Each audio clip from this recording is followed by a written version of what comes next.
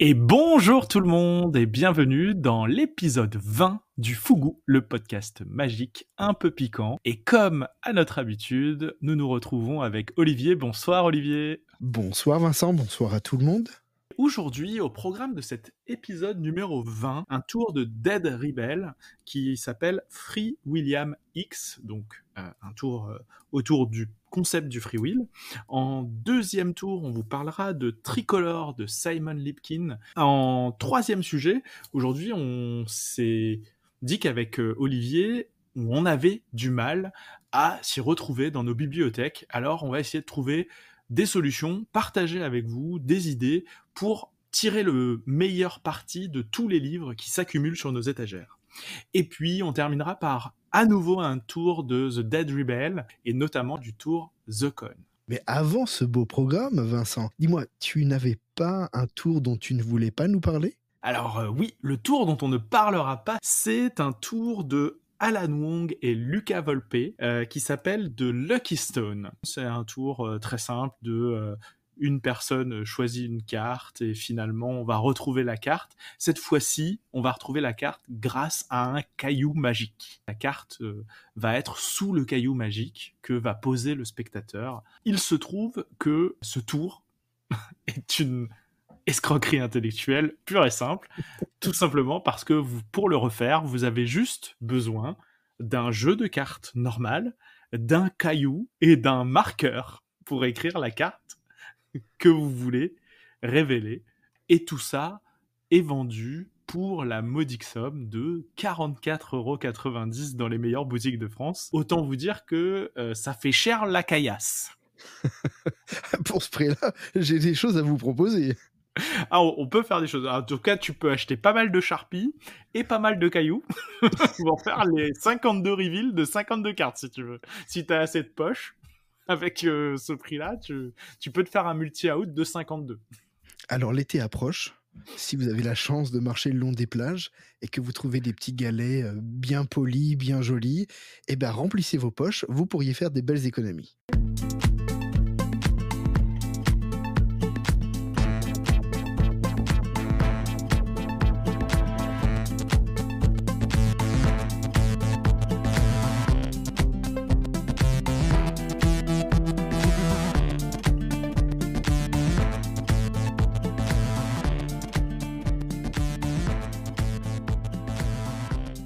Commencer euh, notre série de tours, Olivier, je te propose de nous présenter peut-être Free William X de Dead Rebel. Qu'est-ce que c'est? Oh bien c'est un tour très classique que j'avais pas prévu d'acheter euh, au départ. Alors euh, Free Will, est-ce qu'on le présente encore ce tour? On peut faire un petit rappel rapide. Dans la version d'origine, ce sont trois petits jetons en bois qui ont des symboles et vous demandez à votre spectateur d'en poser un au milieu, d'en prendre un pour lui, de vous en donner un vous pouvez même lui demander de, faire un échange. Ensuite, vous lui donnez une prédiction à lire. Il se trouve que la prédiction est exacte. donc, c'est un grand classique qui m'avait jamais vraiment attiré. Enfin, j'aimais bien le concept, mais les objets me plaisaient pas forcément. Et puis, il y avait aussi le euh, Tie Will Be Done. Je ne sais pas si tu te souviens de Alexander Marsh. Exactement. Euh, j'avais apprécié parce que tout le matériel tenait sur une seule carte. Ouais, c'était, c'était vraiment pas mal. En me rendant en boutique, j'avais euh, vu cet objet qui me semblait euh, joli. Et je suis vraiment tombé amoureux du matériel. Ce sont trois jetons qui sont d'un côté unis, dans le sens où ils ont tous le même dos. Et mmh. de l'autre côté, on pourrait comparer ça à un décor floral. Il y en a qui a une prédominance rouge, une bleue et une dorée. Et le, le déroulement est exactement le même que le free wheel classique. On écarte un jeton qu'on va faire mettre dans la pochette. Un va être donné au spectateur, un au magicien, possibilité d'échange, lecture de la prédiction, J'adore la pochette en cuir. en tout cas, l'image, ça rend très bien et euh, ça donne une impression de très grande qualité. Exactement. C'est ce qui m'a vraiment surpris quand j'ai eu le matériel en main. Et je crois que c'est pas la routine qui m'a attiré, mais vraiment, je le répète, le matériel. Et même l'emballage. L'emballage, c'est une, euh, une enveloppe. Alors, je ne saurais pas dire si c'est du Tivec, je crois pas. Mais euh, alors, je ne sais pas si à l'image ça se voit, mais il y a même une petite marque manuscrite. C'est censé être une pochette qui aurait pu contenir du tabac. Et puis la petite prédiction, c'est sur une carte qui est joliment décorée aussi. Mmh, toujours décor floral, hein. on est très, euh, très fleur sur le, sujet. Je ne sais pas pourquoi, peut-être une inspiration féminine, je ne sais pas, mais c'est ça me plaît bien. Par contre, le texte est en anglais, donc il faudra prévoir une petite adaptation. Mais bon, voilà, euh, rien de, très compliqué, si ce n'est que bon, bah, vous n'aurez plus la prédiction d'origine. Et les jetons sont en quelle matière? J'ai pas réussi à le déterminer ça. C'est du plastique, c'est de la céramique, c'est. Ça ressemble plutôt à de la céramique. Je saurais pas dire. Ok, d'accord. Mais c'est ça, ça, donnait une impression un peu patinée, euh, euh, voilà, de, céramique en visuel, et je, je, me posais la question. J'avais eu un peu peur parce que j'avais peur que ça casse, mais non, c'est pas le cas, ça, ça cassera pas. Après, céramique, euh, tu peux avoir des, jetons résistants parce que les jetons de casino, euh, les vrais, sont en céramique normalement. Et euh, ils se cassent pas. Enfin, en tout cas, pour les casser, il faut y aller. Ils ont fait un petit apport, c'est que la, la routine se déroule en trois temps. Avant de parler de la routine, je voudrais quand même parler du contexte. L'histoire, c'est un, cow-boy ou une personne qui vivait dans, au Far West euh, et qui est emprisonné et son ami qui va proposer au shérif un pari. Bien sûr, il va réussir à faire libérer en gagnant le pari son ami qui s'appelle William X. T'auras compris, euh, Free William, Free Will, c'est un clin d'œil à euh, Corbusier. Cet univers m'inspire pas du tout, mais tu peux t'en passer et simplement prétendre aimer les, jetons anciens. Oui, parce qu'au final, on, parle de jetons de poker, mais dans les faits, euh, tu pourrais le faire passer pour n'importe quel autre jeton. Ça pourrait être un jeton de présence. On sait qu'il y, a des, il y a des cas où il y avait des jetons de présence dans certaines associations. Ça pourrait être euh, n'importe quel outil, un jeton d'un jeu, de n'importe quelle euh, origine. Enfin, voilà, c'est pas forcément cowboy et c'est pas forcément poker finalement. Non, parce qu'il n'y a pas de valeur, il n'y a pas de nom de casino, il n'y a rien du tout. Donc, euh, effectivement, je ne sais pas dans quel cadre ils auraient pu être utilisés. Pour en revenir à la routine, tu as un premier effet et un deuxième qui sont basés sur euh, un principe de Bob Hummer qui est Mathematical euh, Monty. Tu sais, en fait, c'est les trois objets. Hmm. Il me semble que c'est Martin Gardner qui avait ça dans un de ses bouquins où il disait repérer une tasse qui a une petite, un petit défaut et puis il t'explique le, fonctionnement. C'est exactement ça. Et ce qu'il faut savoir, c'est que évidemment, comme dans la routine d'origine, les dos sont marqués. J'ai un petit regret à ce niveau-là. Autant le jeton doré, le marquage, il existe, mais il est pratiquement invisible. Autant le jeton rouge, j'ai été confronté à des gens qui m'ont dit ah ouais, ça se voit. Enfin, il dit ah, il y a un truc, il est pas tout à fait comme les autres. Mmh. Il faut être assez sûr de soi dans les instructions que tu donnes, s'adapter, mais j'ai jamais rencontré aucune difficulté. Pour les deux premiers effets, la première fois, tu demandes donc à ton spectateur de choisir un jeton, de le regarder, ensuite d'intervertir les deux autres, et si tu suis le script, tu dis euh, alors donc si j'arrive à révéler le jeton que vous avez regardé, vous libérez mon ami. il y a une petite subtilité. Au moment de dire ça, il va pour retourner le mauvais jeton. L'autre dit bah oui oui ok je parie et en fait il change son choix et il retourne le bon jeton. Donc euh, c'est un petit élément, euh, j'allais dire pas psychologique, mais c'est intéressant à garder à l'esprit. Ensuite, la deuxième routine, c'est pareil, tu fais remélanger tes jetons et cette fois tu dis pareil, tu regardes un jeton, tu intervertis les deux autres et au lieu de désigner le jeton qu'il a effectivement regardé, concentre-toi un peu sur la couleur ah oui, euh, je je perçois du rouge. Tu as choisi le jeton rouge. Et ça apporte un petit crescendo à cet effet. Euh, au lieu d'avoir la révélation du matériel, c'est une révélation vraiment purement mentale de, ce qu'il a choisi. Et après, la troisième, c'est l'effet final, c'est le free will euh, tel qu'on le connaît. Ok. Alors c'est peut-être un peu cher parce qu'on est sur 49 euros, mais je regrette pas du tout cet investissement. Et comme je te disais, l'effet je le connais je pourrais le faire avec n'importe quoi, je pourrais marquer n'importe quel objet, mais je suis vraiment tombé amoureux de ces objets qui d'une manière un peu tactile, j'aime les, toucher. Je suis assez d'accord avec toi, les objets donnent envie d'être manipulés. Même juste la vision euh, photo, vidéo des, outils euh, fait dire que c'est des outils de, belle qualité qui donnent envie d'être utilisés. Euh, ça, j'ai aucun sujet là-dessus. Je pense que clairement, c'est le, c'est ce qui fait que je pense ce produit marche bien. Parce que effectivement, la routine, je pense que tout le monde l'a comprise, tout le monde sait la faire. C'est un, ultra classique du mentalisme. Euh, voilà. Et puis il y a, y a plein, il y a mille versions avec euh, des objets, avec euh, des, des, objets différents, des objets identiques. Enfin, donc je pense que tout le monde avait compris et ceux qui l'achètent l'achètent pour la qualité du matériel qui est fourni avec, à mon avis pour la plupart. J'ai parlé du marquage et c'est un peu dommage qu'il y en ait un qui soit trop prononcé, mais tout le monde n'y fait pas attention ça serait mentir. Ce qui pourrait être gênant sur les deux premières phases de la routine, alors que sur la partie free will, même si quelqu'un le remarquait, il pourrait pas comprendre.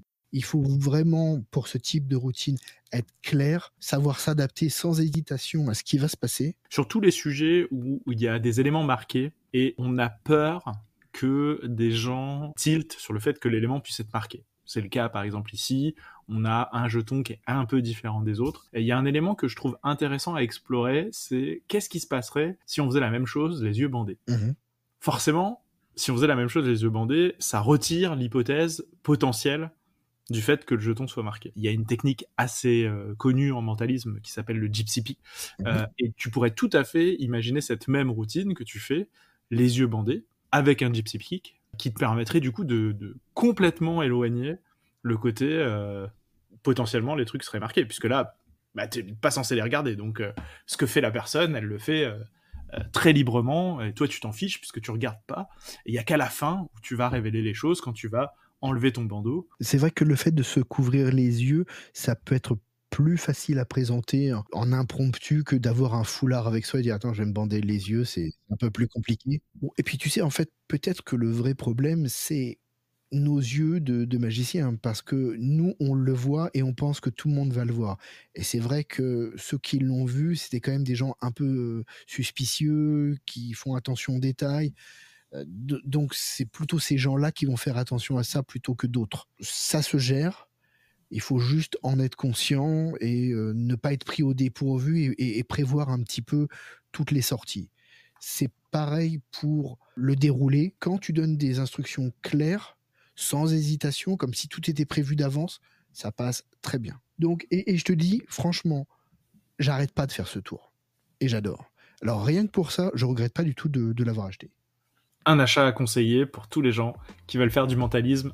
En parlant de mentalisme, T'aurais pas quelque chose à nous proposer?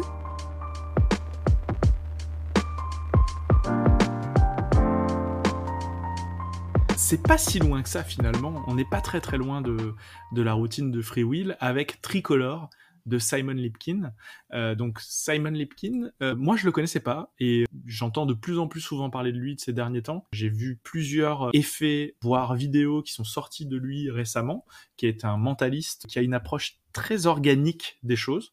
C'est assez intéressant d'ailleurs de, de l'écouter. Et il propose Tricolor, produit par The 1914, qui est la, société de production de Dee Christopher. Et je me demande s'il n'y a pas Lewis Leval. En tout cas, Lewis Leval est assez souvent dans ses projets, mais euh, il me semble que c'est Dee Christopher qui est à la base euh, du projet. Et le principe de tricolore, c'est d'avoir trois charpies de couleurs différentes. Donc euh, dans la version que j'ai reçue, c'est un bleu, un vert et un rouge, sur lesquels en fait il y a un capuchon noir. Et donc, euh, bah, pour ceux qui ont déjà utilisé des Sharpies, vous savez qu'une fois qu'on a mis un capuchon sur un Sharpie, on peut pas savoir finalement la couleur qui est à l'intérieur. Et euh, on va donner au spectateur les Sharpies, il va pouvoir les mélanger autant qu'il veut. Il va euh, devoir colorier en fait sur une carte de visite ou une carte blanche un dessin avec la couleur qu'il a choisie. Et en fait, sur cette carte de visite, il y a trois dessins qui sont numérotés de 1 à 3. Et il va euh, donc colorier le numéro 1 avec le Sharpie qu'il a choisi. Il va en reprendre un deuxième et il va colorier le numéro 2 et il va reprendre un troisième et il va colorier le numéro 3. Et ça, ça se passera toujours comme ça. C'est-à-dire que pour ceux qui connaissent euh, les routines de dessin colorié, on colorie toujours 1, 2, 3 et pas euh, dans un ordre différent. Et à la fin, on va sortir une prédiction d'une enveloppe qui était sur la table depuis le début, qui correspond exactement à la façon dont il a colorié sa, carte. Donc on est sur euh, une routine assez classique de, euh, de coloriage de dessin et de duplication, en tout cas de prédiction d'un dessin colorié, mais sans aucun électronique. Et c'est là où je pense qu'il y a des gens qui vont bugger sur la routine, parce que la plupart du temps, pour ceux qui connaissent un peu euh, les techniques de mentalisme, ce type de, d'effets utilise des outils électroniques. Pas rentrer dans les détails de, ce que sont ces outils électroniques, mais ça utilise des outils électroniques. Là, en l'occurrence, c'est 100% organique. Il n'y a pas de pile, il n'y a pas de rien du tout. Voilà, c'est des outils relativement basiques. On peut pas dire que c'est un produit qui soit donné, parce que euh, de mémoire, il est vendu autour de 65 euros. Ça reste raisonnable. Ça reste raisonnable euh, comparé euh, aux outils qui normalement permettent de faire cet effet-là, qui coûtent souvent plusieurs centaines d'euros, et livré dans cet élément-là, donc les trois Sharpies, avec leur capuchon bien entendu, et du matériel additionnel. On va peut-être pas donner tout le matériel additionnel, mais du matériel additionnel qui lui-même coûte assez cher d'habitude pour réussir à faire l'effet final. Et en plus des billets euh, ce qu'on appelle des billets en mentalisme, c'est-à-dire des cartes blanches, pour pouvoir faire les prédictions, la prédiction et le, petit dessin à, donner au spectateur. Donc en fait, euh, on peut à la sortie de la boîte quasiment faire euh, directement le tour. Ça demande juste de faire les dessins parce que ils font pas les dessins pour nous, d'accord? Ça permet de faire les dessins qu'on veut dessus. Finalement, pour ce prix-là, on a quand même pas mal de matos. On va dire qu'il y a compris dans le matos que je viens de dire le gimmick le ou les gimmicks, dira-t-on, qui sont très très intelligents puisque même euh, à pleine vue, c'est pas décelable par le commun des mortels. Pour tous ceux qui pensaient que c'était sur les Sharpies que c'était écrit, il est rien écrit sur les Sharpies. Voilà. Comme moi. Il n'est rien écrit sur les Sharpies. D'ailleurs, on vous donne un bleu, un vert, un rouge. Si vous voulez les changer par un violet, un jaune et un noir, euh, vous pouvez. Enfin, vraiment, c'est dommage de mettre un noir parce que les capuchons sont noirs. c'est con, mais encore que, à la limite, ça peut être le leur, tu vois, ça peut être le leur. Mais euh, globalement, vous pouvez mettre n'importe quelle couleur. Vous pouvez aller chercher des Sharpies dans le commerce. Euh, c'est pas écrit dessus, donc déjà, vous pouvez vous sortir ça de la tête. Donc le spectateur ne pourra pas voir euh, ce qui se passe. C'est ça qui est intéressant d'ailleurs, c'est que une fois que ton Sharpie, ou alors si jamais quelqu'un le manipulait mal, l'abîmait, il suffit de prendre un nouveau, de mettre le bouchon par-dessus, puis t'es reparti quoi. Ouais, c'est vraiment c'est très très facile quoi. C'est il y a, y a, rien à faire. Euh. En termes de durabilité, c'est top. Il y a des il y a des enveloppes qui sont fournies qui sont anti-vec, donc euh, les enveloppes euh, elles sont indestructibles quasiment. Il faut y aller. ouais. faut y aller. Hein. Pour des pour déchirer des enveloppes anti-vec, faut y aller. C'est livré avec plusieurs heures de vidéos d'instruction parce que sont fournis avec donc la routine principale, celle qui est vue dans le trailer, donc où on colorie les dessins, mais aussi une routine de correspondance. Donc, euh, en fait, vous allez euh, montrer au spectateur que dans vos poches, vous avez des capuchons de couleur qui correspondent au Sharpie qu'il a mis dans ses poches. Correspondance assez classique, mais qui marche très très bien. Vous avez un enveloppe test, donc une espèce de, jeu d'enveloppe, et vous avez un chart test. Donc, vous avez euh, au moins cinq routines, voire six de mémoire qui sont qui sont proposées. Eh ben, tu vois, en fait, j'ai été agréablement surpris. Pourquoi? Parce que je dois avouer que les dernières productions 1914, j'ai été un peu déçu. Alors, pas les articles dont on a parlé, mais il y a eu euh, un ou deux articles qui n'avaient pas le niveau, selon moi, par exemple The Sequence. Et là, je m'étais imaginé quelque chose en me disant ah non ça, ne peut pas être aussi ridicule que ça finalement en voyant le truc je me suis dit ah ouais c'est pas mal surtout que ce que j'ai trouvé encore plus intéressant alors non seulement c'est quasiment invisible. Il faudrait que le gars passe des heures à, tout scruter, ce qu'il fera jamais. Mais en plus, il y a une possibilité qui fait que tu n'es même pas obligé de regarder. Oui, en fait, euh, c'est ça qui est fort. Sans vouloir en dévoiler, tu pourrais prendre l'information sans examiner le stylo. Ah mais pleinement et, alors euh, pour, euh, pour, rebondir sur ce qu'on s'est dit tout à l'heure, on pourrait le faire les yeux bandés, mais on pourrait le faire les yeux bandés sans gypsy peak. C'est-à-dire qu'on pourrait se scotcher des pièces en métal sur les yeux. C'est souvent ce qui est utilisé pour, euh, pour s'assurer qu'on voit rien. Et on pourrait faire le tour. Vraiment, pour le coup, c'est très très ingénieux et c'est extrêmement low-tech. Ça marche très très bien et c'est, euh, pour le coup, c'est assez bulletproof. Moi, j'aime bien cette idée parce que euh, je suis pas un fan d'électronique, des choses, il faut que je pense à ce que ça soit chargé, les risques que ça tombe en panne, les risques que ça fonctionne pas bien. J'aime les solutions, ouais, à l'ancienne et sur lesquels bah, tu peux compter à n'importe quel moment. 65 euh, euros, il y a un peu de matériel, je pense que ça le justifie assez par rapport à plein d'autres tours. Euh, parfois, tu vois des tours avec une dizaine de cartes à 30 balles, donc euh, ça me choque pas. Il y a toujours du contenu. Si j'écoute ce que tu me dis, je pense que 1914 est retombé un peu au, niveau du, de ses débuts. Ça veut dire un bon niveau.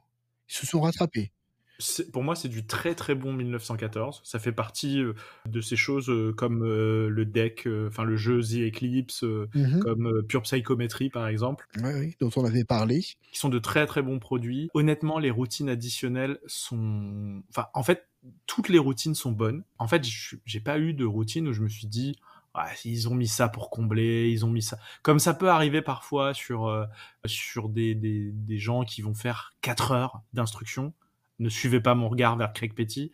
Mais oh, euh, j'avais lui en tête aussi, c'est bizarre. mais euh, ah, euh, des cartes en forme de Rubik's cube et hop, on te ressort tous les grands principes. Enfin bref. Donc des fois tu te dis bon vraiment on, a, on en a mis pour en mettre, ce qui ne ce qui n'ôte rien à la qualité de plein d'autres productions de Craig Petty, mais mais mais là vraiment toutes les routines sont bonnes. Il y a des routines de Marc Paul pour ceux qui connaissent un peu les, les gens qui font du mentalisme. Donc il y a de très très jolie routine et je pense que c'est pas terminé parce qu'ils ont rajouté des choses après la sortie. Et donc je pense qu'ils pourraient en rajouter si, euh, si des personnes euh, ont de nouvelles idées euh, de tours. Il y a des choses où je me suis dit ouais autant l'univers ça me correspond pas mais je pourrais très très bien réutiliser exactement la même méthode pour autre chose. Vraiment il y a, il y a plein plein de trucs à apprendre là-dedans.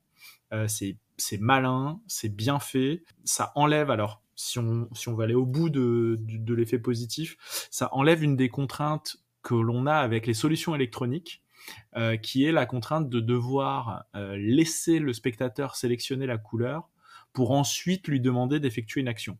Mmh. Là, pour le coup, la principale différence, et c'est ça qui est fou, c'est que finalement, l'effet, il est encore plus pur parce que, en fait, tout est prévu avant même qu'il fasse ses choix.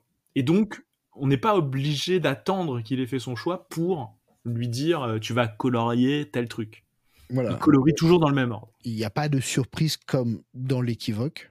C'est ça. Comme dans un free will. Exactement, il n'y a pas d'équivoque. On va lancer le mot, hop, free will, équivoque. Donc, il n'y a pas d'équivoque. À partir du moment où il a choisi son premier objet, de toute façon, il va suivre toujours le, même ordre de coloriage. Tu pourrais même l'annoncer dès le début. Tu vas colorier la maison, la voiture, la fleur. Je ne sais pas quels sont les objets, mais bah, tu choisis ce que tu veux, en fait. Ouais, clair, hein. sera toujours le même ordre. Et à partir du moment où il va prendre son premier stylo. Tu sais déjà euh, l'issue du, l'issue du tour. L'effet est très, très pur. Alors même qu'il y a moins de technologie que dans les autres euh, outils. Pour moi, c'est une grosse réussite. Ça se transporte bah, comme trois charpies dans une poche. Voilà. Je peux pas dire plus. Hein. C'est trois charpies dans une poche. Alors quand je dis il n'y a pas de sortie alternative, ceux qui ont le tour vont, vont me fusiller sur place. Mais il n'y a pas de sortie alternative au sens où ça se passe toujours de la même façon. Il n'y a pas une sortie différente, une sortie qui serait moins bonne qu'une autre ou qui serait légèrement différente d'une autre, comme ça pourrait être le cas des fois où euh, euh, tu vas dire euh, ah ben en fait c'est pas dans l'enveloppe mais c'est sous l'enveloppe ou c'est au dos de l'enveloppe ou c'est enfin voilà il n'y a pas de truc comme ça quoi. À la limite tu pourrais dire tu pourrais écrire ton script en disant tu vas choisir un stylo et avec ce stylo tu vas colorier tel objet. Mmh et le gars pourrait suivre hein, et toi tu aurais euh, ta prédiction serait correcte. Ouais, exactement. Tu, pourrais ne rien dire, juste écrire ce qu'il va faire. Il suit les inscriptions et, et, à la fin, ton enveloppe, elle est bonne. Ouais, exactement. Ça m'a un peu réconcilié avec 1914, je, je dois t'avouer. Je, suis désolé, mais sur les dernières productions, j'avais été un petit peu déçu. Euh, Sequence et puis un autre où je m'étais dit, euh, ouais, c'est un peu faible en ce moment. Je, sais que tu n'avais pas aimé Sequence, donc euh, je, savais ça. Je, suis un peu moins... Je sais pas que j'ai pas aimé parce que j'aime bien le principe d'avoir quelques cartes, mais j'ai trouvé ça un peu faible quand même. Ouais, c'est un peu faiblard, mais pour moi c'était un truc, c'est un truc que tu fais en intro avant de, avant de lancer un set ESP en fait. Mais je, comprends le, côté euh, en effet seul, c'est un peu faible. Après, est-ce que ça vaut ce prix-là? Euh, C'est un autre sujet. Et pour te réconcilier un peu plus avec 1914, euh, ils ont sorti, alors pour le coup c'est un produit digital, un produit qui s'appelle Perplexion qui est une série de, de vidéos. Perplexion, c'était Adams Dadswell, que je connaissais pas du tout. C'est que des tours de cartes, accès mentalisme, et c'est très intelligent. Il y a plein de mhm. trucs très sympas dedans. Pas dur, mais très bluffant.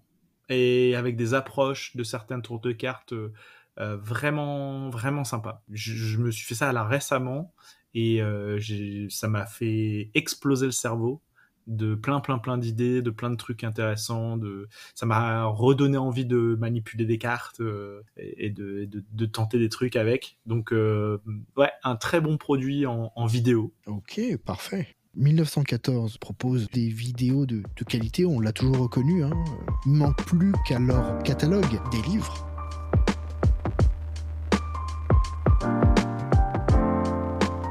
Et, je voulais t'entraîner sur ce sujet parce que en, discutant comme ça, on, s'est aperçu, on, bah, on, lit beaucoup de choses, on a beaucoup de livres. c'est des sujets qu'on a déjà abordés et parfois comme le temps passe et qu'on rajeunit pas et qu'on n'a pas des ordinateurs à la place des cerveaux, on oublie certaines choses. Et pour ma part, il n'est pas rare que je me dise ah oui, c'était fait, mais où est-ce que je l'avais lu? Ou alors, ah oui, j'aimerais bien revoir ça, mais il y a une phase, je me souviens plus trop.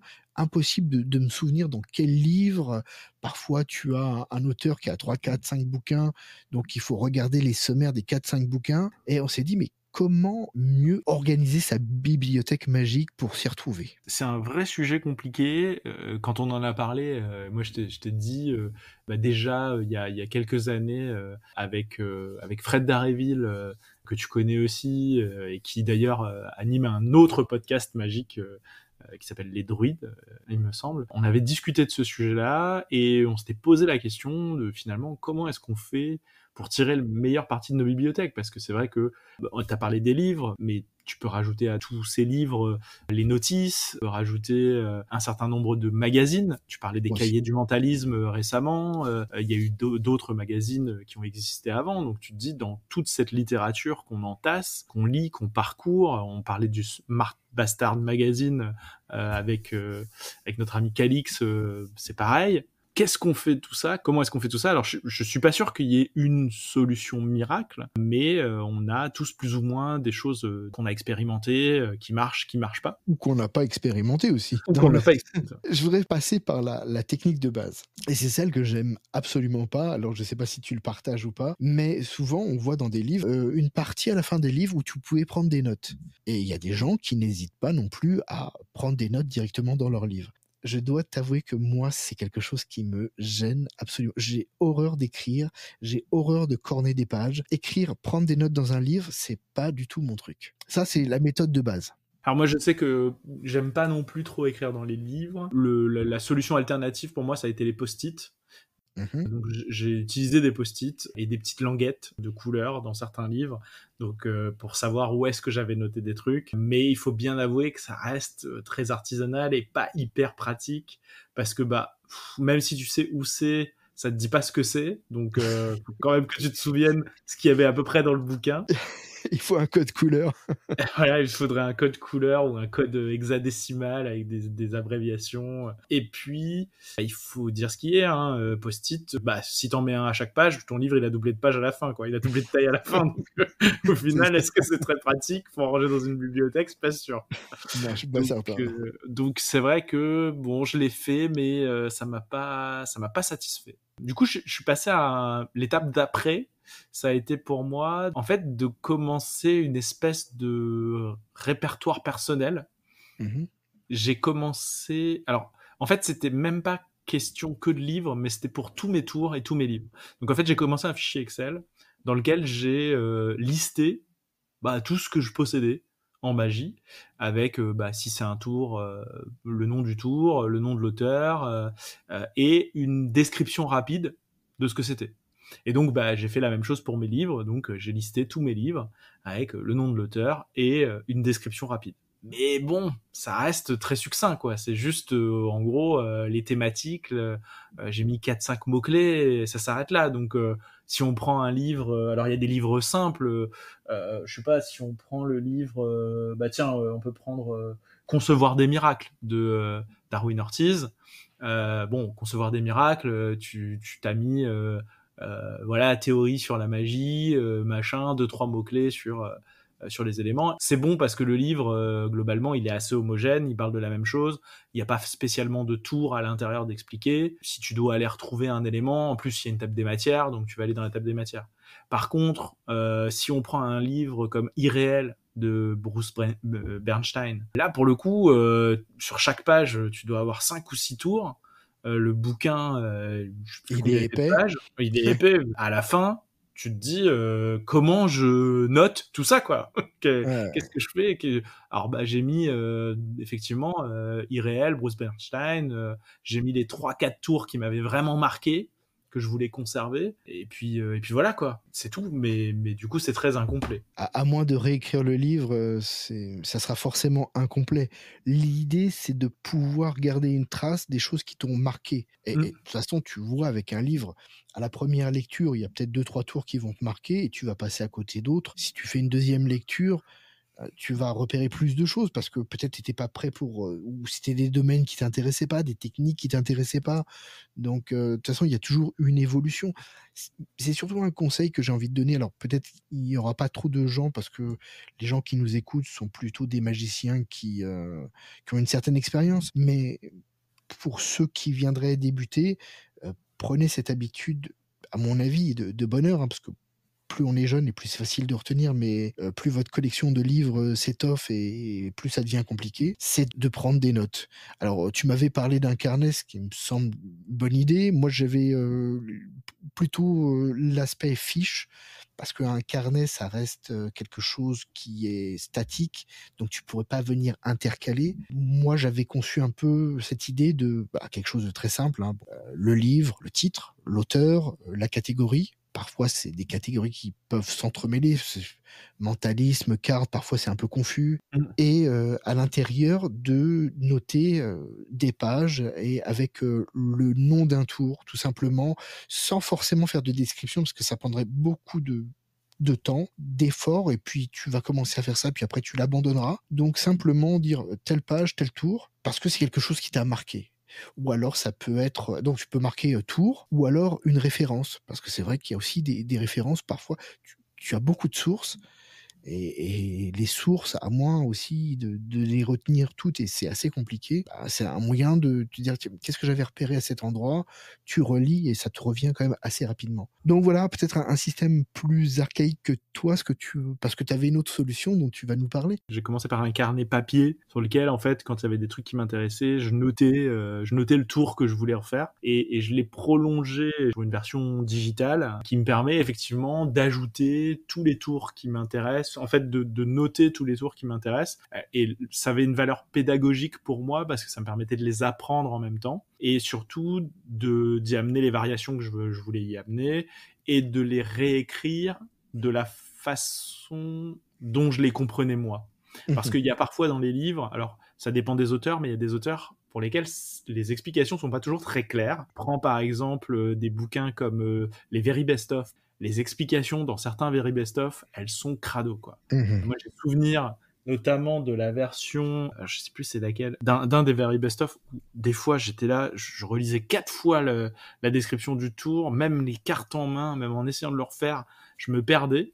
Donc j'avais pris l'habitude de me réécrire les tours à ma sauce, en mode, voilà, c'est comme ça que moi je le, je l'expliquerai parce que la technique, je l'ai, je l'ai interprété comme ça. Donc ça, c'est mon livre personnel de magie, dans lequel je mets les tours que, j'aime bien, que j'ai classés selon ma propre classification, qui me va bien à moi, et qui me permet du coup d'aller euh, retrouver euh, plus facilement les tours que j'aime, avec cette limite que ça prend énormément de temps, parce que quand tu dois refaire tout le déroulé d'un tour, bah, ça peut être relativement long. Faut être très motivé. Faut être assez motivé. Et l'autre solution, qui est une solution qui, à mon avis, peut rejoindre la solution que tu voulais toi, qui est la fiche de lecture. Euh, on, avait, on avait échangé avec euh, Fred Darreville justement sur cette fameuse fiche de lecture, qui était certes très complète, plus complète que ce que tu as dit, c'est-à-dire euh, le nom du livre, son auteur, son titre, de quoi il parle, et après prendre des notes où tu mets telle page, tel tour, telle page, telle, telle technique, telle page, telle référence.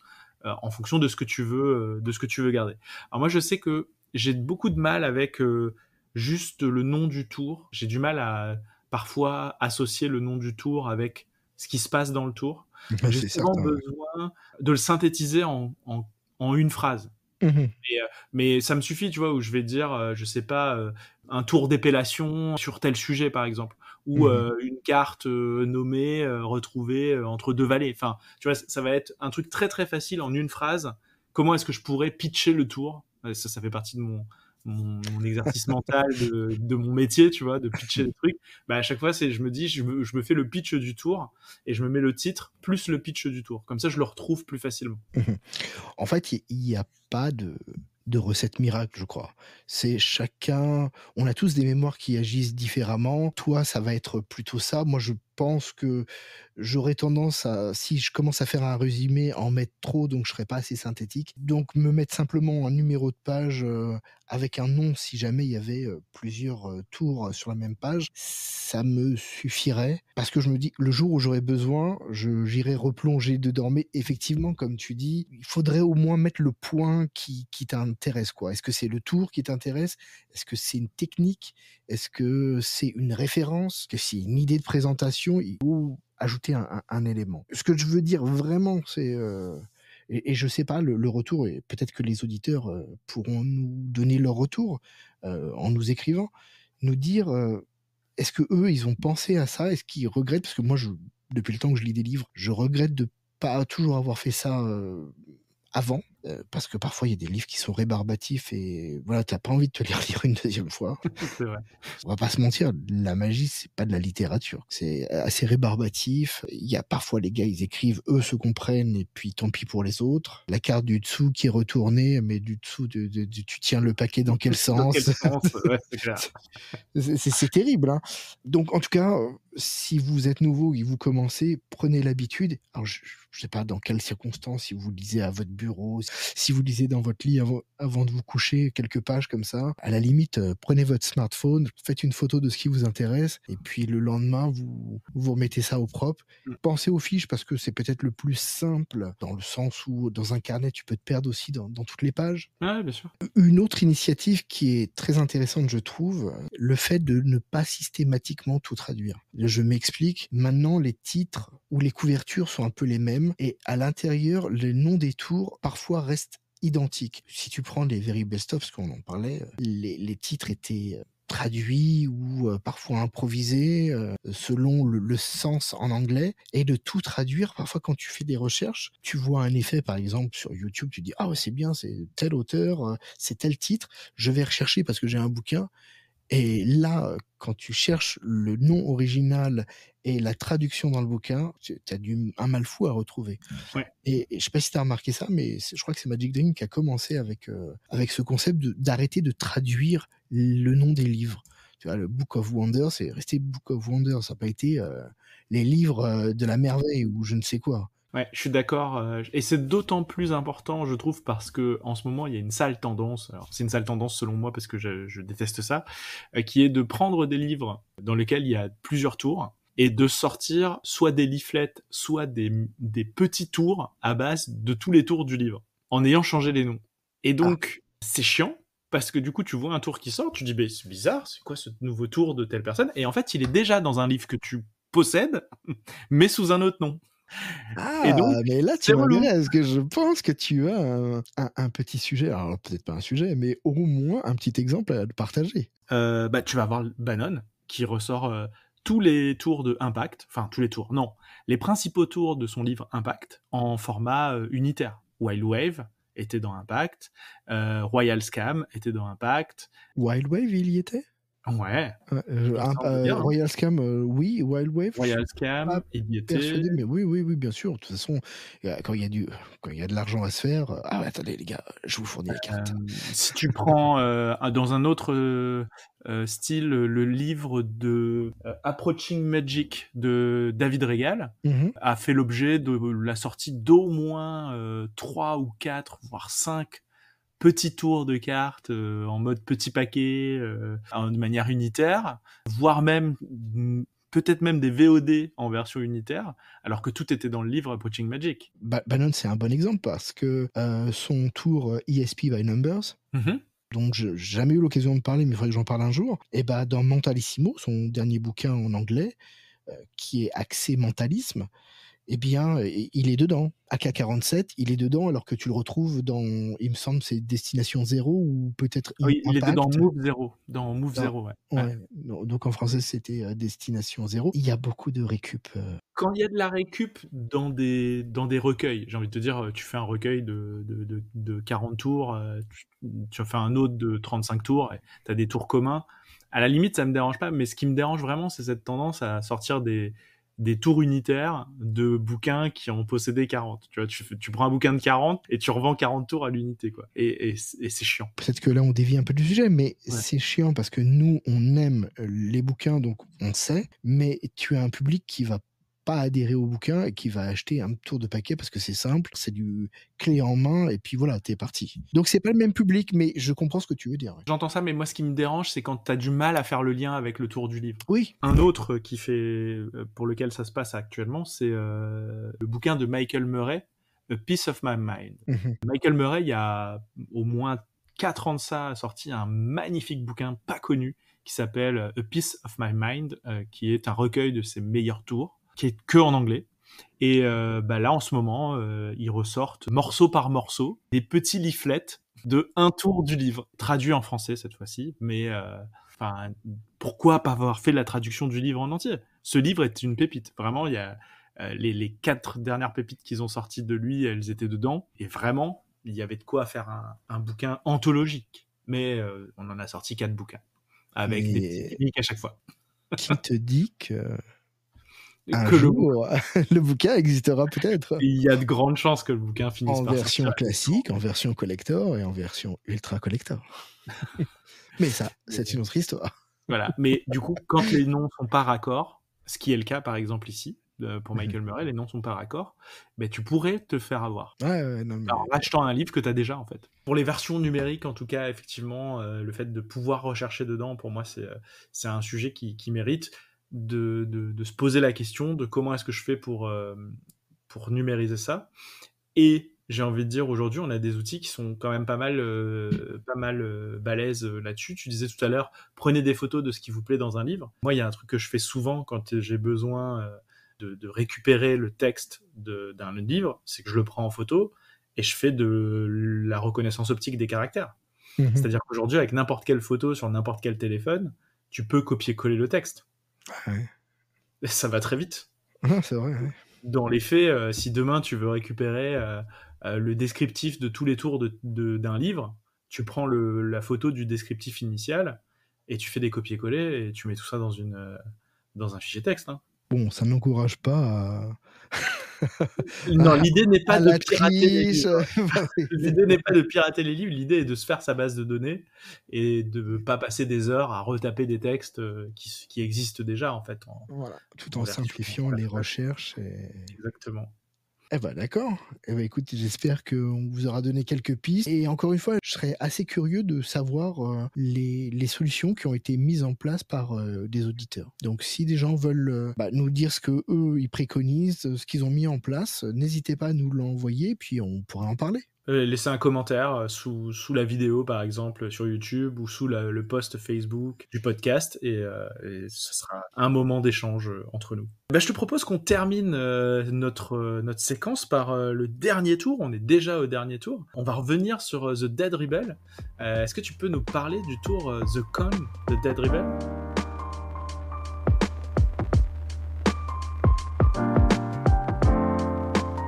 Qui ne sauraient pas, en fait, c'est euh, Gamble de Steve Cook. Un grand classique, là encore, hein, comme euh, Free Will, mais à la sauce euh, Dead Rebel. Alors, pour ceux qui ne connaîtraient pas, l'idée, c'est de proposer des objets dans un univers, parce que là, encore une fois, la boîte dans laquelle le matériel est contenu, tu vois, c'est une boîte qui a été un peu usée, comme tu peux le voir. Mmh. c'est une boîte qui est censée, mmh. voilà, une, avec une étiquette qui représente un, petit revolver vendu pour la modique somme de 2,50$. Donc c'est assez joli. Ils ont plein d'autres produits qui seront pas forcément disponibles en France parce que généralement le texte est en anglais, assez intraduisible. Je pense que là, pour le marché français, ce qui a été choisi sont les grands classiques Free Will et cette fois Gambler. En fait, il s'agit d'une petite pochette. Euh, celle-ci est en cuir. Je ne sais pas quelle était celle d'origine. Elle comprenait des, des, jetons de casino de différentes couleurs. Sur cette petite pochette, sur cette petite bourse, tu as une pochette extra dans laquelle tu as ta prédiction. C'est un jeton que tu donnes à ton spectateur en lui demandant de pas le regarder. Euh, tu peux lui montrer librement les quatre autres jetons qui se trouvent dans la pochette tu les introduis, tu secoues, plonge la main, pince un jeton, D'accord? J'aime cette petite subtilité qui est pas dans la vidéo de Dead Rebel, mais qui est dans la vidéo de Liam Montier, parce qu'ils ont lié les explications. Ça, c'est assez sympa, puisque Liam Montier assurait euh, les explications pour le, produit de Steve Cook. Et il a cette petite euh, astuce, encore une fois, que je trouve intéressante, surtout quand ça fonctionne. Tu dis, attends, non, là tu pinces un jeton, prends-en un autre et donc, il va passer à un autre jeton, le sortir. Et là, s'il sort le bon, c'est le miracle absolu. Je te le garantis, euh, c'est très fort. Et donc, euh, il va sortir les, les, jetons et ça va correspondre à la prédiction. là, euh, au niveau de la description, je vais pas aller beaucoup plus loin parce que sinon, je vais révéler la méthode. Ce qu'il faut savoir, c'est qu'il y a quatre sorties différentes. Il y en a deux qui sont assez fortes et les deux autres qui se tiennent très bien aussi. Hein. Oui, oui, les, les, quatre sorties sont bonnes, mais effectivement, comparé à ce qu'on se disait tout à l'heure, euh, il y a des sorties différentes euh, selon le cas, qui sont bonnes, mais qui sont différentes. Voilà, là encore, c'est un univers, tu as des jetons, le décor euh, floral. On est clairement sur des fleurs, hein, des fleurs de couleurs et de formes différentes, mais ça, ça reste des fleurs. Celle-ci, elle me fait penser un peu aux au bleuets que peuvent arborer les, les, anciens combattants, tu sais, ouais, ouais, le, vrai. le 11 novembre. Voilà, peut-être une fleur un peu plus classique, stylisée. Et puis alors celle-là, je sais pas ce qu'elle t'évoque. Dis-moi ce que, ce que ça t'évoque celle-ci. Mais en fait, euh, j'aurais dit presque un, une décoration militaire. Ouais. Euh, avec une genre une croix de la, Légion ou je sais pas quoi, soit un chapiteau. Et eh ben voilà. C'est ça. Ça m'a fait penser aux, aux, foires un petit peu américaines, tu sais, mmh. avec euh, toutes leurs attractions et puis leur, leur freak show un petit peu. C'est cet univers que ça m'inspire. Ouais. donc là, pareil, Gamble, excellente routine donc là, il n'y a aucun apport euh, par rapport euh, à la routine d'origine, contrairement à Free Will où il y avait une tentative de faire deux phases supplémentaires. Là, c'est ni plus ni moins que Gamble. La grande différence pour moi, c'est que les jetons de casino de Gamble me plaisaient pas du tout. C'est des jetons standards que tu retrouves partout. Mmh. Là, les jetons, bah, ils sont beaux, ils vont bien avec les, les précédents. Oui, c'est très raccord. Hein. C'est très raccord en termes de style. Euh, tu peux enchaîner, tu es dans un univers cohérent. quoi. La différence, c'est que évidemment, là, sur euh, recto verso, ce sera le même symbole. Il n'y aura pas mmh. quelque chose de caché. Peut-être que ça aurait pu être une idée. Et ainsi d'augmenter les possibilités, peut-être de combiner, de faire d'autres routines, je sais pas. En tout cas, cette euh, possibilité n'a pas été exploitée. Euh, je ne sais pas quel univers. J'ai pas regardé le trailer en me disant euh, quelle est l'histoire derrière. Ça m'a même pas intéressé. J'ai aimé le matériel et encore une fois, c'est pour ça que je, l'ai choisi. Je m'éclate vraiment avec. Je crois que je me serais moins éclaté avec euh, Gamble. Pourquoi je, je ne l'explique pas, mais tout simplement, ça me plaît. C'est ouais, c'est franchement c'est une bonne routine. Euh, moi j'aime bien cette routine aussi. Euh. On peut prendre l'exemple des Tegno. On se dit les Tegno c'est joli, il y a de la créativité, souvent c'est intelligent, mais tu te dis j'ai pas envie de présenter ça quoi. C'est c'est plastoc. Euh, ouais. Il y, a, y a pas beaucoup de Tegno que tu as envie de présenter. Moi j'en ai un que, que j'aime bien présenter, mais sinon le reste c'est la magie pour enfants quoi. Exactement. Et puis les gens, je crois que ça les intéresse aussi ces objets, ils sont assez inhabituels, euh, c'est coloré, c'est joli. C'était l'occasion d'avoir ce classique. Alors, on peut le dire, hein, quand vous connaissez euh, les sorties qui existent, vous pouvez vous refaire la routine, euh, en tout cas celle d'origine, Gamble, vous pouvez vous la refaire très facilement. Ah oui, oui, euh, c'est très, ça, ça coûte euh, pas grand chose, ça, ça, se trouve très facilement. Euh, euh là, pour le coup, le matériel de Gamble, il est trouvable partout, c'est très très simple à faire. Celui-là est plus difficile à reproduire. Le ah bah, matériel bah oui. là, il est beaucoup plus difficile à reproduire. Mais la routine reste la même, elle est excellente, elle marche très bien. Enfin, il n'y a pas de, y a pas de mystère. Hein. Les jetons sont de même qualité, donc tu parlais de céramique, c'est tout ouais. à fait possible. Ils sont agréables, ils sont suffisamment lourds, t'as pas l'impression que c'est du toc. Euh. Et la pochette est en cuir aussi. La pochette est en cuir. Alors, il y a une paroi en tissu parce que il y a une, une pochette, euh, il y a, il y a une autre, il y, a, il y a un compartiment. Alors, mmh. non pas que ce soit un compartiment euh, secret, hein, il n'y a rien de secret là-dedans, mais c'est simplement pour isoler euh, votre jeton de prédiction. Mmh. Et donc la petite faute de goût, je trouve, c'est qu'à l'intérieur, il y a une petite étiquette où tu peux lire euh, Made in China. Donc euh, peut-être peut la couper. ouais, mais comme je n'avais pas mis d'ambiance particulière, ça pourrait être un objet tout à fait contemporain, mais plutôt de qualité, alors que mmh. dans Game Ball, la pochette me semblait pas. Euh, Elle est très très standard la pochette. voilà, donc, alors, euh, si je dis pas de bêtises, Gamble, euh, tu peux le trouver dans les 36, 36, 50, quelque chose comme ça, moins de 40 euros. Ici, tu es euh, sur 49 euros, encore une fois. Toujours un peu plus cher, mais aussi produit un peu plus qualitatif. Tu payes l'originalité, tu payes la qualité du matériel. Ouais, l'originalité. reste bonne. Hein. Ah oui, non, mais la routine, euh, je, crois que j'ai même pas besoin de convaincre les auditeurs. Ils savent très bien que Gamble, c'est, c'est très bien. On disait multiple out. Donc, la, seule contrainte là-dedans, c'est que euh, moi, je l'ai fait pas mal au boulot et euh, des gens, ah, tu peux me le refaire? Non, non, non. Ah, pourquoi? Bah, Parce que t'as plus l'effet de surprise. C'est plus amusant. Mmh. Et donc, t'évites de, de refaire aux copines, tu vois. Alors, ça m'a amusé parce que j'ai fait avec deux filles qui étaient copines, mais chacun leur tour, et elles sont tombées sur la même sortie. Je dis, bon, là, je suis safe si elles en discutent toutes les deux, tu vois. Elles auront la même version, je suis pas grillé. Un classique, et sous cette forme, eh bien, euh, très agréable à présenter. Je pense que c'est encore un bon conseil euh, pour les gens qui veulent du matériel de qualité. Peut-être que c'est euh, aussi en, vieillissant, mais j'ai envie d'en avoir moins, mais du plus joli. Des mmh. choses que j'ai vraiment envie de présenter. Ouais, je suis d'accord. Je, je, pense que ça fait partie aussi de, euh, ben, on parle souvent hein, de comment est-ce qu'on achète, euh, comment est-ce qu'on achète mieux, euh, comment est-ce qu'on choisit. Ben, je pense qu'il y a aussi des moments dans la vie où ben, on n'a pas envie d'acheter mille trucs, mais par contre, on a envie d'avoir des produits qu'on peut utiliser. Et comme on se connaît de mieux en mieux, on sait aussi ce qui nous plaît, ce qui nous plaît pas, ce qu'on est prêt à utiliser, ce qu'on n'est pas prêt à utiliser. Euh, ça vient avec l'expérience, mais euh, après, des fois, il y a des trucs. Euh, je sais que par exemple, j'ai acheté un Cups and Ball. Je présente jamais le Cups and Ball, mais je l'ai trouvé beau. Il est beau, il est sur mon bureau, il est en expo, il brille quand, quand je fais les quand je fais les poussières. et, voilà quoi, tu vois, je, je suis content. Mais comme notre baguette magique. Voilà, la baguette magique, c'est pareil. le TCC. Euh, le, TCC, euh, j'ai quoi J'ai euh, le ball and vase de TCC mmh aussi. voilà, ce qui est... alors il y a une petite vitrine, donc j'ai moins la poussière à faire. Mais voilà. mais, mais voilà, il y a des trucs où tu dis, je les achète non pas parce que c'est bien, mais parce que j'en ai envie et ça me fait plaisir et, et j'ai envie de le présenter ou j'ai envie de l'avoir parce que c'est pas juste euh, la course à euh, savoir le truc parce que des fois tu sais le truc le bah ball euh, j'avais déjà eu le cocktail magique on l'a tout dans la, première manette de magie Ah ouais, j'avais dans Pif Gadget.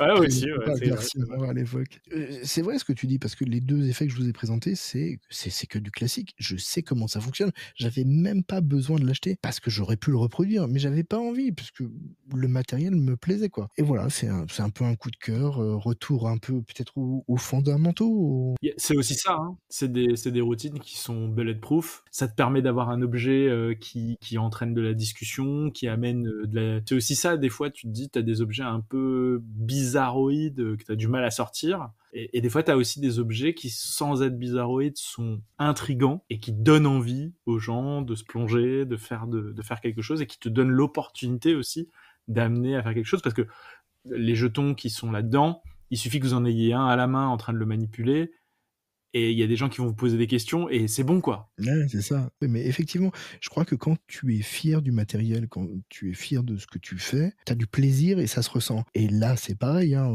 même si c'est peut-être un peu plus facile que Free Will, parce que tu n'as qu'à suivre euh, le déroulé. Il faut quand même mettre suffisamment de conviction pour que les gens à qui tu présentes ça, ils aient le sentiment ah ouais tout était prévu quoi. Ça devait se dérouler comme ça. Pour moi, c'est deux tours qui font appel à exactement euh, à la même compétence. C'est euh, cette capacité. Alors, on va pas parler d'improvisation parce que on n'est pas dans de l'improvisation au sens mmh, premier du terme, mais cette capacité d'adaptation. En mmh fait, c'est la capacité à adapter son acting à ce qui se passe sur le truc. Donc, c'est vraiment se concentrer sur son jeu d'acteur. Et ne laisser aucune place à euh, de l'hésitation, du doute. Alors c'est peut-être d'ailleurs ce qui fait que c'est des tours qui marchent pas bien auprès des débutants parce que tu te dis ben en fait ça marche pas parce que quand t'es débutant, que t'as pas assez bossé ton tour, que t'es pas assez sûr de toi, que tu présentes ça un peu de manière chaotique, il y a moyen que ça passe un peu à côté. Il y a moyen Mhm. que les gens se disent euh, c'est bof, euh, c'est pas foufou, euh, on voit que ouais, euh, euh, voilà, on a on a vu un truc quoi. On sait pas quoi, Mhm. mais on a vu un truc. Ça c'est le c'est le risque de ces tours là. Par contre, quand t'as un petit peu de bouteille, c'est le genre de tour qui est qui est assez jouissif parce que toi tu sais que t'es en train de jouer l'entourloupe. tu vois?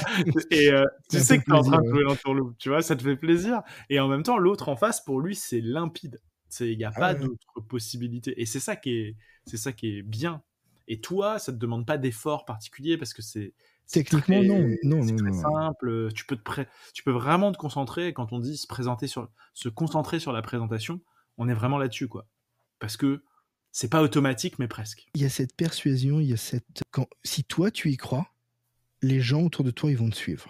Bien Et, c'est- dans toutes les disciplines, c'est dans toutes les routines. Si tu commences, toi, à ne pas y croire, les gens, ils le ressentent. Ça, j'en suis Mm. persuadé. C'est de la théorie, mais je- j'en suis persuadé. C'est comme, euh, tu sais, la clé hantée. Je me suis acheté euh, celle de Murphy, qui, qui est très belle. hein, c'est un, c'est un très beau modèle, qui fonctionne très bien. Et le gars dit, en fait, il faut que vous imaginiez la clé en train de tourner. Et quand tu t'imagines, elle, elle se met à tourner toute seule. Mm. Tu penses même pas à dire euh, je, je- je bouge, je fais un mouvement. Non, non, si toi t'y crois, les gens vont y croire. pour le coup, pour tous les gens qui font du mentalisme, c'est une réalité. C'est-à-dire que si tu n'es pas persuadé que ce que tu es en train de leur faire croire est vrai, Ça marche pas. ça marche pas. Mhm.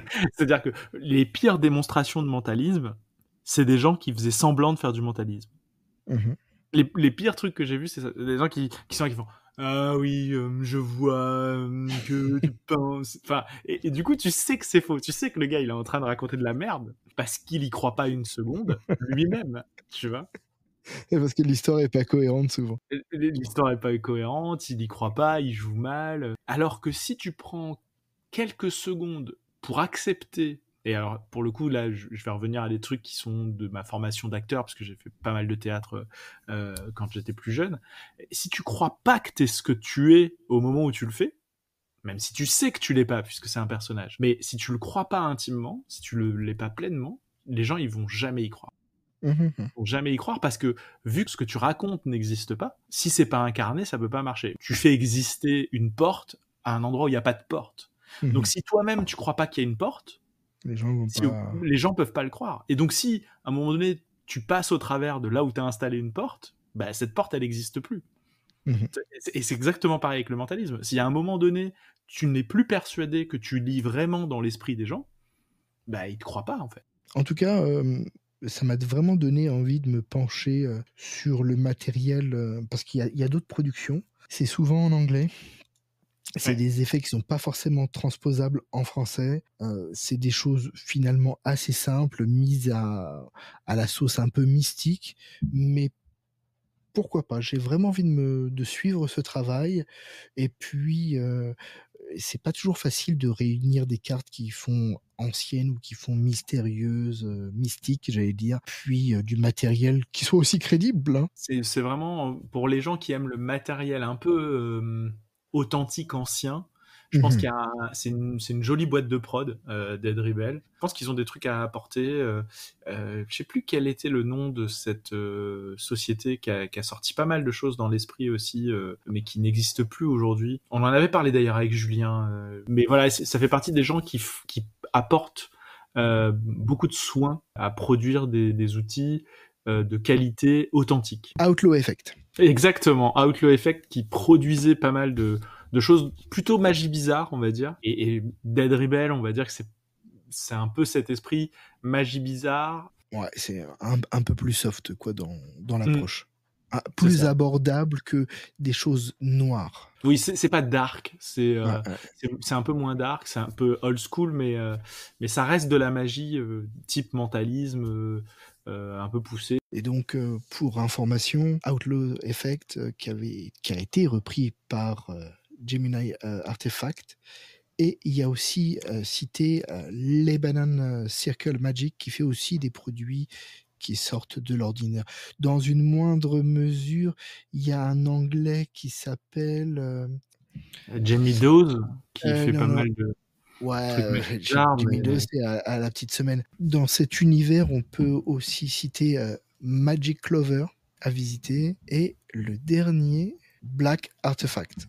A priori, il a changé, mais là aussi, il est un peu dans cet univers. Je vous ai donné quelques adresses. Si vous en voulez plus, et bien sûr, toute la magie.com, dans la section fabricant matériel, il y a euh, quatre de ces adresses. Dead Rebel est, pas dedans parce que c'est pas clair s'ils sont avec Kemar. Euh, c'est pas très clair. pour l'instant, en fait, je crois pas qu'ils aient de site de prod euh, distinct euh, ils sont distribués, mais je n'ai pas vu de site euh, sur lesquels ils seraient en propre, comme le peuvent l'être d'autres producteurs de magie. Pour l'instant, je les ai vus que distribués sur certaines boutiques, dont l'ensemble de, ce qu'ils ont produit sur Kemar Magic, effectivement. Exactement. Et puis, il y a aussi Big Black Media qui distribue pas mal de leurs produits. Eh ben, on arrive à la fin de cet épisode 20 un épisode riche. En tout cas, j'espère qu'il vous aura plu. J'espère que vous aurez euh, découvert peut-être des petites pépites, redécouvert euh, des tours intéressants euh, qui ont été reproduits. En tout cas, n'hésitez pas à nous dire en commentaire euh, si vous avez des meilleures méthodes que nous pour gérer votre euh, bibliothèque, bien sûr, mais aussi nous dire euh, de quoi vous aimeriez qu'on parle dans les prochains épisodes. On est déjà à l'épisode 20, on a encore plein d'épisodes devant nous, on a plein d'idées qu'on pourrait développer dans les prochains épisodes, mais s'il y a des sujets particuliers, eh ben, laissez-nous un petit commentaire, que ce soit avec la note que vous allez nous laisser de 5 étoiles sur 5 sur votre plateforme de podcast préférée, ou sur YouTube ou sur Facebook ou sur n'importe quel média sur lequel vous allez retrouver euh, euh, le podcast. En tout cas, on sera toujours ravis de vous lire. Et est-ce que tu voudrais rajouter quelque chose, Olivier? Pour l'avenir, j'ai quelques petites idées de, sujets, j'espère qu'ils vous intéresseront, avec des choses que j'ai apprises, voilà, j'ignorais, et j'ai été pas mal surpris sur certains classiques, et de savoir que c'est des classiques qui remontaient à, bien plus longtemps que je pouvais imaginer. Donc voilà, je, tease un peu, si tu veux, pour euh, les prochains épisodes, euh, mais euh, se pencher un peu plus sur l'histoire, reprendre des anciens effets, et, vous livrer un peu le, fruit des découvertes qu'on a pu faire au, fil des lectures ou des de visionnage de vidéos. Je vous souhaite à tous et à toi, Vincent, bah, une bonne soirée. Ça m'a fait plaisir de, passer ce temps en ta compagnie et d'imaginer euh, nos auditeurs. Merci à tous et je vous dis à très bientôt. À très bientôt tout le monde. Au revoir.